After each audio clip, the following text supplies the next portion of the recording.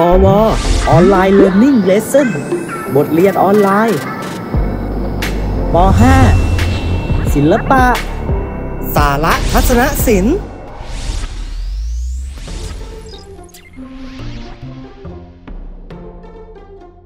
มาดูจังหวะและตำแหน่งของสิ่งต่างๆ ที่ปรากฏในสิ่งแวดล้อมกันนะครับ จังหวะหมายถึง ระยะที่สม่ำเสมอ เช่น การเคาะเป็นจังหวะ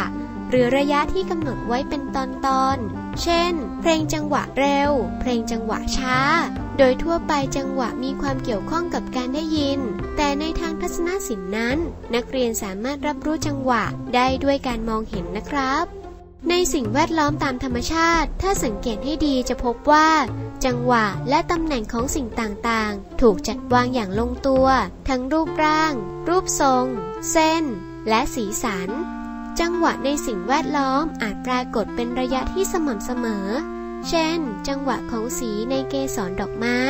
ตำแหน่งของรูปร่าง รูปทรง ที่ปรากฏเป็นระยะสม่ำเสมอ หรือระยะของเกลียวคลื่นสีขาว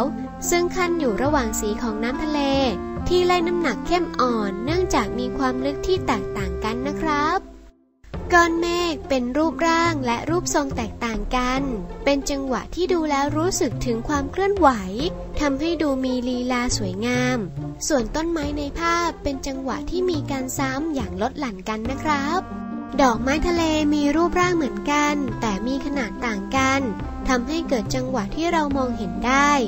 น้ำของหอยเม่นนั้นมีรูปร่างเหมือนกัน แต่มีทิศทางเป็นจังหวะที่แตกต่างจากจังหวะของดอกไม้ทะเลนะครับ เม็ดบัวปรากฏเป็นจังหวะซ้ำกันอยู่บนฝักบัว แต่เม็ดบัวมีขนาดไม่เท่ากัน จึงทำให้ตำแหน่งของเม็ดบัว ที่มีขนาดใหญ่นั้นกลายเป็นจุดเด่นนะครับ นักเรียนเคยเห็นจังหวะของสิ่งใดในสิ่งแวดล้อมบ้างครับ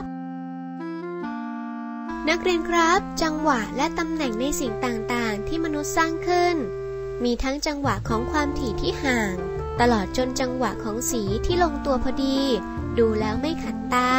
ถึงแม้ว่าสีจะต่างกัน แต่การวางในตำแหน่งที่ถูกต้อง ก็จะทำให้กลมกลืนไปด้วยกัน และเกิดลีลาเป็นจังหวะต่างๆ ที่สวยงามน่าดูนะครับ